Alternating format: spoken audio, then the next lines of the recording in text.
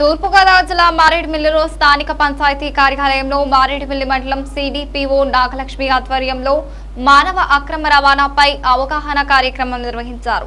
ఈ కార్యక్రమంలో ప్రజ్వల స్వచ్ఛంద సంస్థ ద్వారా ఆడపిల్లలు చిన్నపిల్లల మోసాలపై వివరిస్తూ ఇంతకుముందు మోసపోయిన ఆడపిల్లల నిజ జీవితాలతో కూడిన లఘు చిత్రాల ద్వారా గ్రూప్ డిస్కషన్స్తో వారిని చైతన్యపరిచి అవగాహన కల్పించారు. ఈ కార్యక్రమంలో పాల్గొన్న ఆసక్తి కలిగిన ఉత్తేజపరులైన ఇరవై మందిని ఎంపిక చేసి వారిని సమాజ జాగృతికి సంఘాన్ని ఏర్పాటు చేశారు.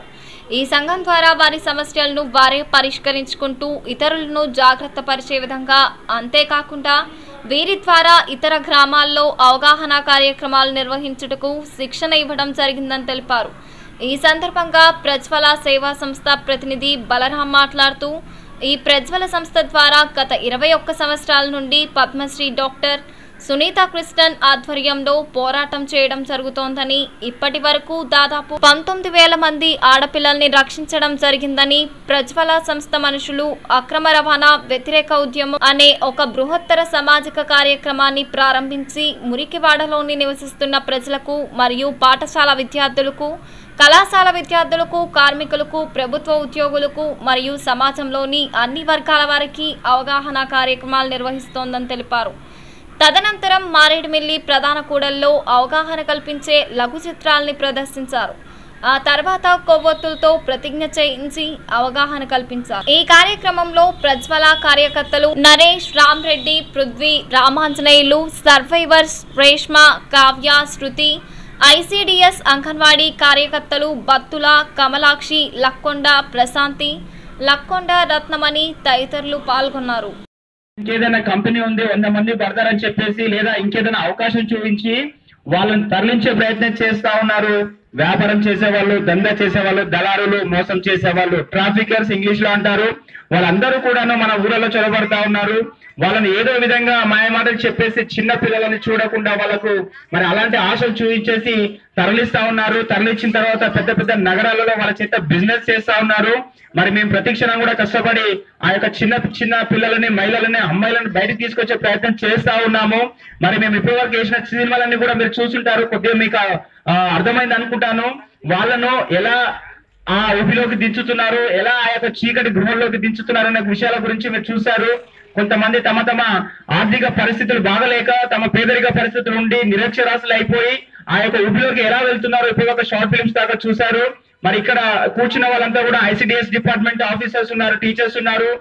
అండ్ అడల్ట్స్ యూత్ వాళ్ళు ఉన్నారు అమ్మాయిలు. వీళ్ళందరూ కూడా శిక్షణ తీసుకున్నారు. శిక్షణ తీసుకొని ఒక సమాజ జాగృతి సంఘం అనే ఒక సంఘం కూడా ఏర్పడ ఏర్పడ్డారు. ఆ సంఘం ఏం చేస్తుందంటే మన గ్రామీణ ప్రాంతంలో ఒక అమ్మాయి కానీ ఒక అబ్బాయి కానీ ఒక మహిళ కానీ ఒక మోసానికి గురి అయిందంటే వెంటనే ఎలా పరిష్కరించుకోవాలి ఆ సమస్య అనే విషయాల పట్ల వాళ్ళు క్లారిటీగా క్లియర్గా వాళ్ళు తెలుసుకున్నారు. పొద్దు నుంచి కూడా పంచాయతీ ఆఫీసులో ఆ యొక్క విషయాలను తెలుసుకోవడం జరిగింది. మరి ఎవరిని సంప్రదించాలా? ఎవరిని సంప్రదిస్తే సమస్య పరిష్కారం అవుతుంది? మరి ఆ యొక్క మోసానికి గురి వెంటనే మరి పది మందికి చెప్పాలా లేకపోతే మనలో మనం ఉండే ఆ సమస్యను పరిష్కరించిన విషయాల గురించి స్పష్టంగా మాట్లాడి క్లియర్గా తెలుసుకోవడం జరిగింది. చిన్న పిల్ల అయినప్పటికీ కూడా వాళ్ళందరూ కూడా క్లియర్గా అర్థం చేసుకున్నారు మోసపోకూడదు.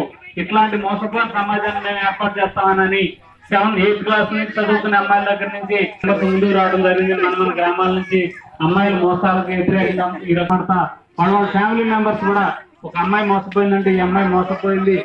రెండు వేల పదమూడులో ప్రేమ పేరుతో మోసపోయింది. ఇంకో రకంగా మోసపోయింది అంటారు.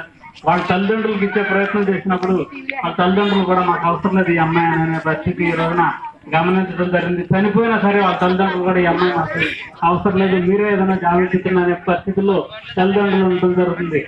ఈ రోజున మనం ఎంతో అల్లారుముద్దుగా పెంచుకుంటున్న కూతుర్లు చెల్లెళ్ళు ఒక్కసారి కనుక మోసపోతే మళ్ళీ తిరిగి మనం మోసపోయిన అమ్మాయిని కాపాడి తీసుకొచ్చినా సరే వాళ్ళ తల్లిదండ్రులు కూడా యాక్సెప్ట్ చేసే పరిస్థితి లేదు కనుక ప్రతి ఒక్కరిని కూడా తెలియపరిచి ఇట్లాంటి మోసపోకుండా ఉండటం గురించి ప్రతి ఒక్కరిని చైతన్యపరిచే దాని గురించి కార్యక్రమాలను మనం హైదరాబాద్ నుంచి ఐసిడిఎస్ ద్వారా అదే రకంగా కలెక్టర్ గారి ద్వారా పర్మిషన్తో తీసుకుని మనం ఈ యొక్క కార్యక్రమాన్ని ఏర్పాటు చేయడం కొంతమందికి ట్రైనింగ్ ఇచ్చి గ్రామ స్థాయిలో ఇట్లాంటి అమ్మాయిల మోసాలకు వ్యతిరేకంగా పనిచేసేలాంటి ఉద్యమాన్ని స్టార్ట్ చేయడం జరిగింది. కానీ ప్రతి ఒక్కరికి కూడా మేము తెలియపరచడం జరుగుతుంది. మనం ఇక్కడ రకరకాల డాక్యుమెంటరీలు చూసాం.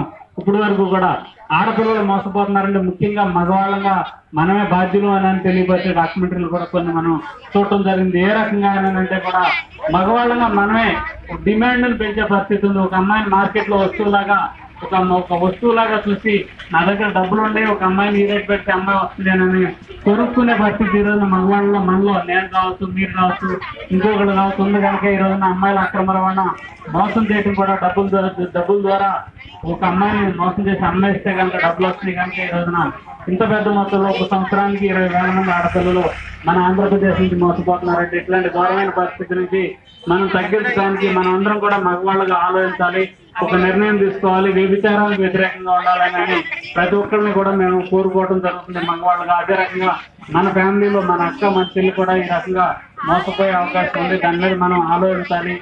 ఒక నిర్ణయం తీసుకోవాలి. ఈ రోజు నుంచి మాట్లాడే ప్రయత్నం ప్రతి ఒక్కరు కూడా చేయాలని మీ అందరికీ మనస్ఫూర్తిగా కోరుకోవడం జరుగుతుంది. చేసేవాళ్ళు తక్కువ మంది ఉన్నారు. కానీ తెలిసిన వ్యక్తుల మట్టుకు మనం చాలా మంది ఉన్నాం.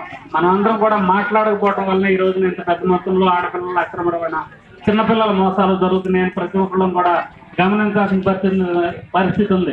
ఏ రకంగా అంటే ఏ రకంగా అయితే వ్యభిచారం చేస్తున్నారో ఏ రకంగా అయితే ఒక అమ్మాయిని మోసం చేసే వాళ్ళు ఉన్నారో వాళ్ళు చాలా తక్కువ మంది ఉన్నారు. కానీ చేసే వాళ్ళు కానీ వ్యభిచారం జరుగుతున్న ప్లేసులు కానీ ఎక్కడి నుంచి మోసాలు జరుగుతున్నాయని తెలిసి కూడా మనం సైలెంట్గా ఉండేవాళ్ళు ఉండే వాళ్ళు చాలా మంది ఉన్నాం. ఎట్లాంటి సైలెంట్ ఆలో మా మాట్లాడటానికి ముందుకు రాని పరిస్థితే ఈ రోజున అమ్మాయి మోసపోవడానికి కారణమని ప్రతి ఒక్కరికి కూడా మేము ఈ రోజు తెలియపరచడం జరుగుతుంది. తెలుసుకున్న విషయాన్ని గురించి ఉత్తేజితులైన వాళ్ళందరూ కూడా వేరే వాళ్ళకి తెలియపరచాలి. మన మన ఫ్యామిలీని మనం జాగ్రత్త ఉంచుకోవాలని ప్రతి ఒక్కరిని కూడా మేము మనస్ఫూర్తిగా కోరుకోవడం